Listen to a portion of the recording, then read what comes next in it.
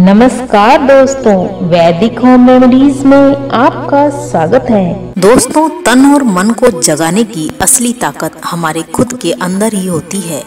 बस हम इस ताकत को आलस और लापरवाही में सुला देते हैं। अगर हम इसे जगा दें और आलस छोड़ दें तो हम सेहतमंद बन सकते हैं।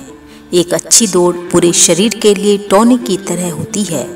दौड़ने के दौरान शरीर से बीटा एंडाफ्रिन नामक रसायन का स्त्राव होता है। यह हम इंसानों को फील गुड कराने वाला रसायन है। डॉक्टरों का कहना है कि दौड़ना न केवल तनाव मुक्त करता है, बल्कि दर्द निवारक की तरह भी काम करता है। दौड़ने जॉगिंग तेज चलने और चलने के स्वास्थ्यगत फायदों को लेकर किताब लिखने वाले नारायण मैदुरी कहते हैं कि दौड़ने या चलने जैसी शारीरिक गतिविधियों के कारण मस्तिष्क से जो रसायन निकलता है, वह एंटी डिप्रेजेंट की तरह काम करता है। मनोवैज्ञानिक भी मानते हैं कि दौड़ने से आप अच्छा महसूस करते हैं।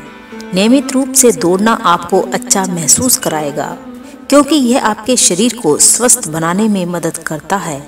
वर्ल्ड हेल्थ ऑर्गेनाइजेशन के मुताबिक दुनिया में कोई शारीरिक गतिविधि न करने से पैदा होने वाली बीमारियों के कारण सबसे ज़्यादा मौतें हो रही हैं। इन बीमारियों में रक्तचाप, शुगर व मोटापा मुख्य रूप से है। इनसे कहीं अधिक आसान बचाव का तरीका है दौड़ना या तेज चलना।